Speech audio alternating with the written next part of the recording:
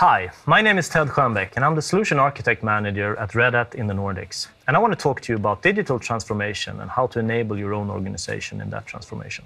But first off, today I'm at the Red Hat office in Finland. Hey guys, my name is Marcus. I take care of marketing here in Finland. And then there's the rest of the team. Hey guys. What up? So, digital transformation, I guess everyone is talking about it these days, talking about how new technologies and new ways of working can enable transformation. Things like big data, things like how to go mobile, how to be more social, how to work with clouds, and new technologies like containers and working in a more DevOps oriented way. But sometimes it's difficult to get your head around how to use all of these technologies and apply them in, in your own organization.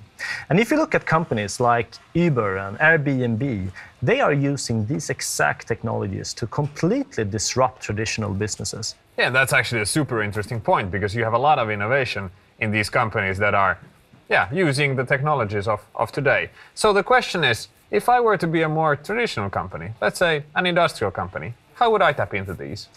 I think the opportunity is huge. Of course, you can use these technologies to drive new businesses and find new markets, but it's also about just looking at your traditional IT and improving that and making that smarter and, and, and more efficient. So, if you want to get on the journey towards a smarter business, join us at Red Hat Forum across the Nordics, where you will get to meet a lot of Red Hatters and listen to a lot of our customers telling you about how they are driving their own transformation. Yeah, good. See you there.